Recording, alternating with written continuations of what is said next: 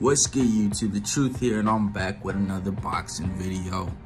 And for today's video, man, y'all better not flame me, but I think it deserves a response for how big and how much effort these guys are putting in.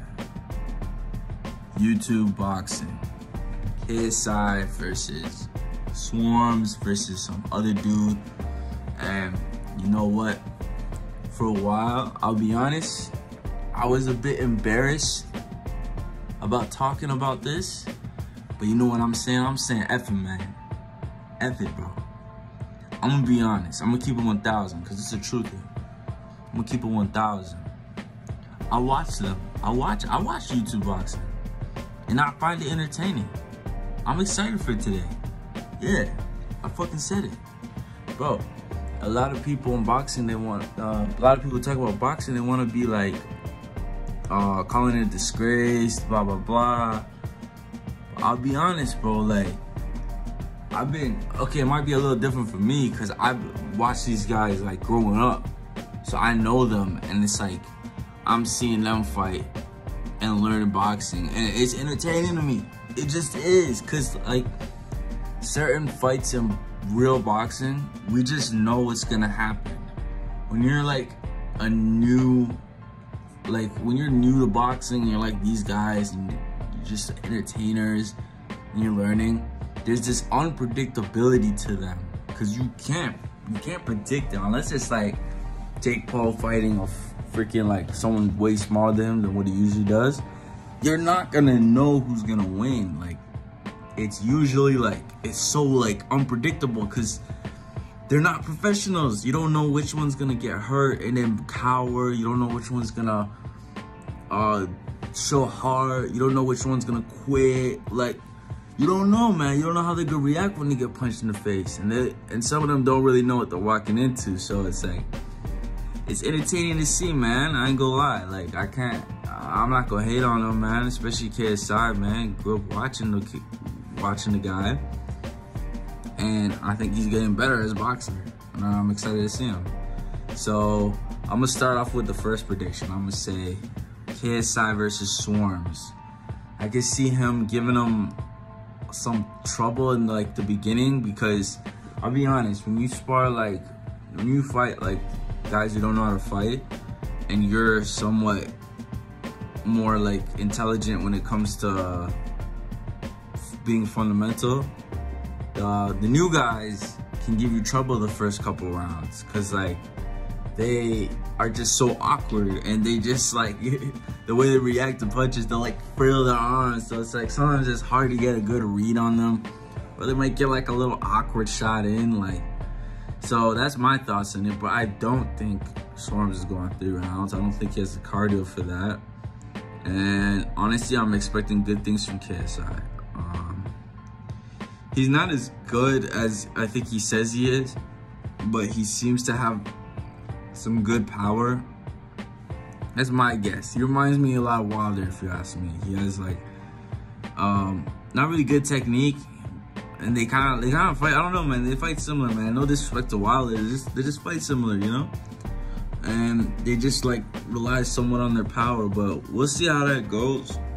Honestly, I think KSI wins. The second one just as maybe easier because the dude, I know he's a pro, but it's more fundamental. So it's like, it's not going to be as awkward for him.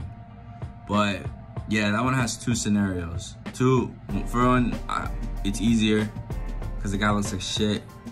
But two, you got to realize the reason we say this, we usually say this when it comes to uh, newer prospects.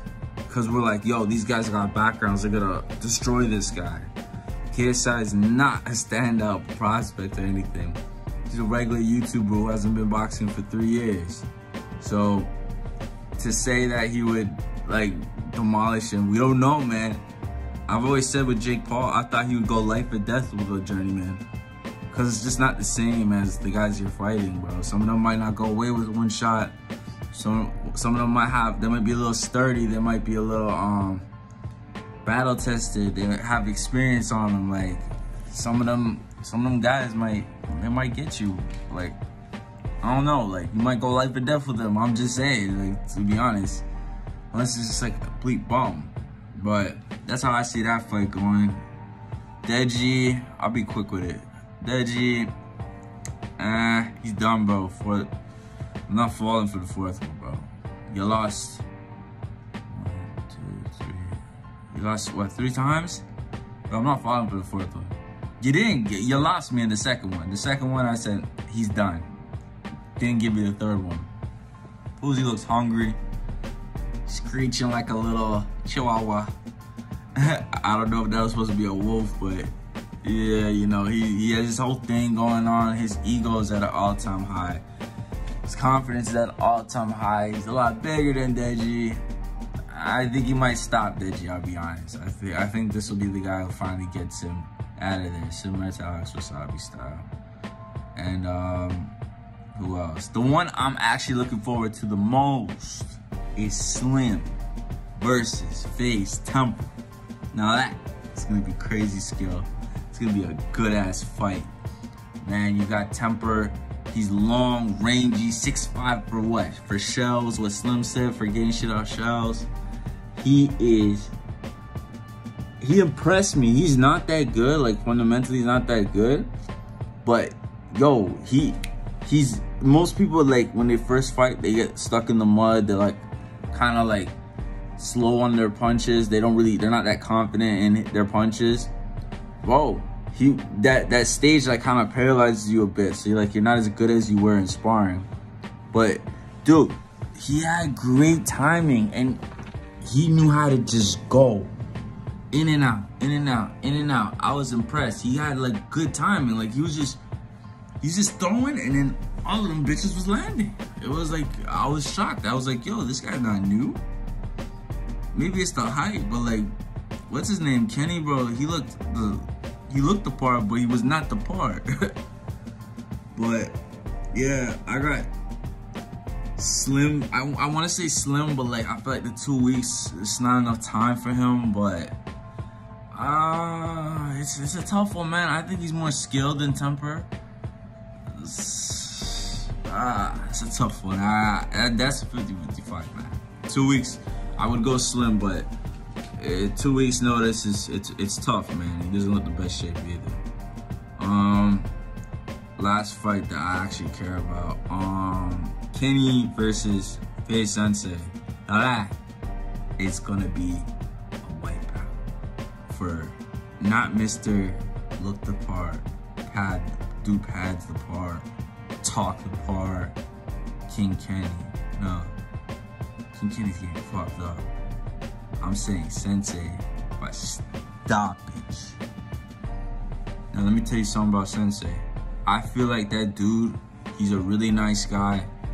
All the situations we've seen him with sparring KSI, all this other shit, um, sparring, Gib, whatever, I feel like he's being nice. I feel like he holds back a lot. I seen him when he's on. He looks like he's holding back against these guys because their fights are coming up. He wants, to, he, he, he thinks above boxing. He doesn't think about ego. So I think he was waiting for a guy that he could just go loose on where he doesn't have to like build the other guy's confidence up to to uh, to help him out as a friend.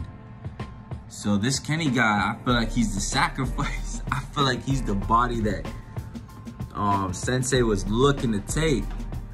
So, hey man, don't be surprised if it's a wash, because dude has a lot of experience on him. Uh, they already covered it, saying it's fair, saying how he focuses on MMA and he focuses on boxing. So there's no, you can't say it's not fair, but wink, wink, it's unfair. He's gonna fuck him up.